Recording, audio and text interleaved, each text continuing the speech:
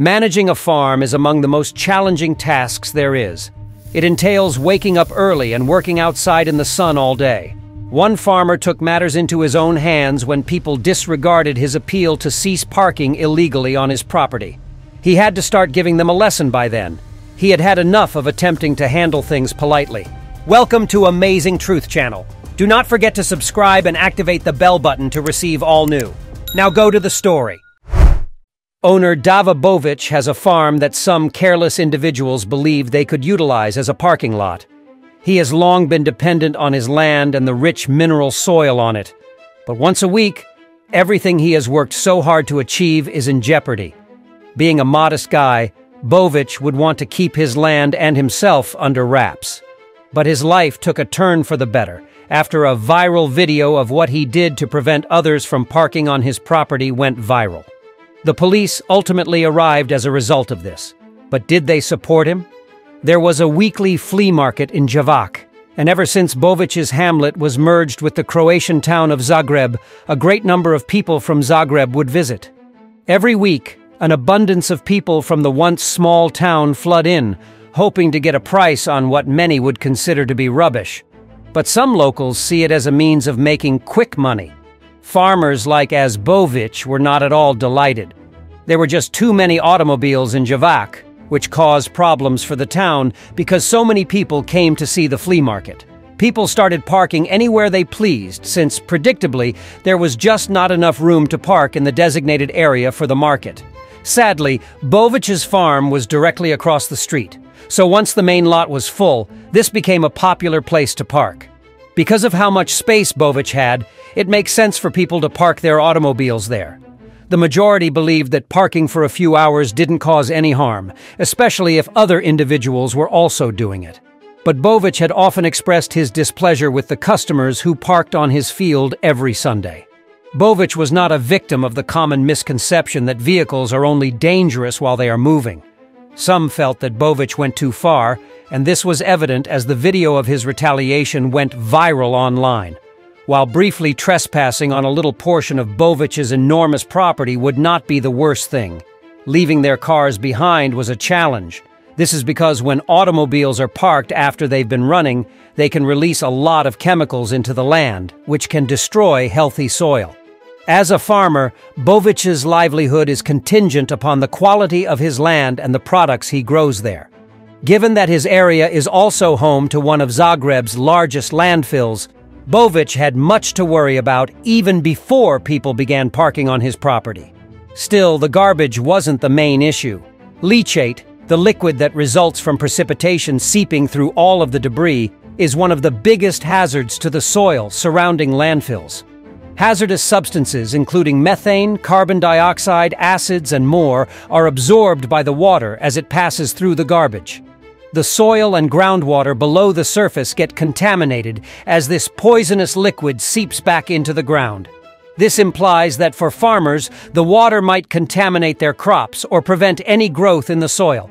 The last thing he wanted was for people to park on top of his already imperiled property and let their auto fluid to seep into the earth, because his crops were already at risk from the adjacent landfill.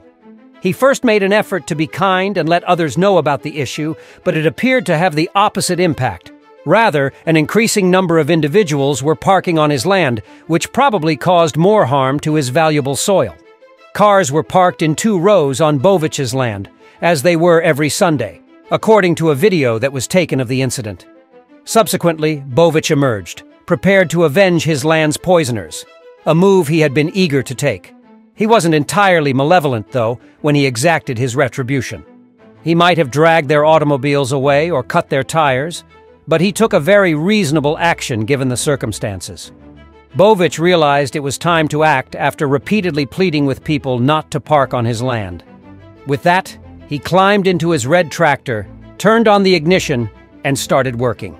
This time, he was not going to plow his fields in order to sow a new crop. He kept plowing in front of the lines of automobiles on his land as others looked at him bewildered. Little did they realize what he was truly doing, and they all thought he was insane for working on a Sunday. People mostly carried on their daily activities. Even on a Sunday, it didn't seem all that odd for a farmer to be plowing his field. He also made sure to perform well, walking back and forth to ensure that the area was well manicured. But after a while, people started to stop and look, and not because he was plowing so well. Individuals began to suspect that Bovich's farm was not what it seemed. Bovich's strategy became apparent when a few individuals left the market and got into their cars to head home. He had churned the earth so much that it was impassable for vehicles to drive on. As each person's vehicle became lodged in the plowed ground, Bovich stood there grinning condescendingly. Nobody who often parked their automobile on Bovich's land ever thought they wouldn't be able to escape. Not everyone, though, was as content as Bovich. Numerous others started to voice their complaints, and soon the cops showed up. The sight of all the automobiles stuck in the recently plowed fields perplexed the cops when they initially got on the scene. They went up to Bovich, who was seated on his tractor, with a lot of questions. Under typical conditions, although Bovich may have been prosecuted for obstructing traffic, this was not an ordinary circumstance. Yes, the land belonged to Bovich, but the market's patrons needed a place to park if they were going to support the town's economy. It was thus time for Bovich to speak with the police. The police concluded that Bovich had done nothing wrong at all after conversing with him. He was perfectly within his rights, even if it would have been uncomfortable for the drivers whose cars were trapped. He has the right to plow his fields whenever he pleases, and the individuals had parked on his property without permission. Furthermore, he is entitled to defend his property, particularly if it is his source of income. The cops spoke for a while, then left the scene without even issuing Bovich a warning. A woman driving a silver Peugeot struggled to get her vehicle back on the main route. She proceeded ahead, backward, left, and right but nothing appeared to be functioning. Her car grew more and more stuck the closer she went to the road, even though at first it appeared like she may be able to escape with no difficulty. At one point, in an attempt to free the automobile from Bovich's trap, one of the policemen had to take the wheel. Bovich had obviously made his point. Not even the cops could free the woman's automobile from its entire impasse. Bovich made the decision to be lenient toward the woman, believing that she had learnt her lesson. In order to allow her to go back on the road, he took the tractor out again and leveled the area surrounding her vehicle. The woman would never again park on his property, that much was certain. Could someone bravely park there once more? Following the event, recordings of Bovich's actions became viral, particularly on YouTube.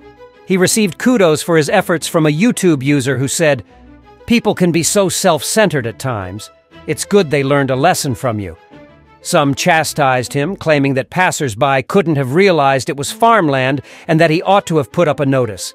However, the great majority of people supported Bovich and gave him credit for peacefully defending his territory. A different notion also occurred to other people. Some YouTubers pointed out that he might have taken advantage of the chance to earn some more cash.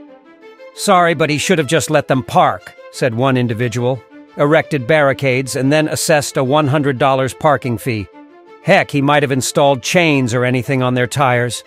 While parking on the land is a possibility, the biggest concern was the potential harm it may do to his crops. For those advocating the parking, just think rationally for one second, penned a sympathetic YouTuber. These vehicles are degrading the soil's aggregate, and their poisons may seep into the earth. Bovich already had enough to worry about with the dump situated so near to his property. Every Sunday, motorists would further deteriorate his land by leaving behind pollutants that would cause more damage to the property. This was the last thing he wanted. Some even thought that the people who had parked illegally ought to have been punished by the law. If you like the story, surely the next video that's appearing on your screen will move you too. Don't forget to subscribe to the channel, give us a thumbs up, and activate the notification bell so you won't miss any of our next videos. A huge kiss, and see you in the next story.